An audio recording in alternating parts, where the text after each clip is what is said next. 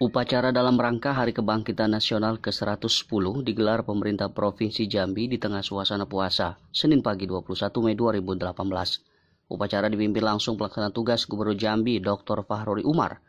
Membacakan sambutan Menteri Komunikasi dan Informatika RI Rudi Antara, PLT Gubernur Jambi berpidato kurang lebih 20 menit. Dalam arahannya, Menko Info mengajak masyarakat Indonesia untuk mengisi kebangkitan nasional dengan mengambil peran di era perkembangan teknologi saat ini. Jangan mau tertinggal oleh kemajuan zaman hingga kalah bersaing.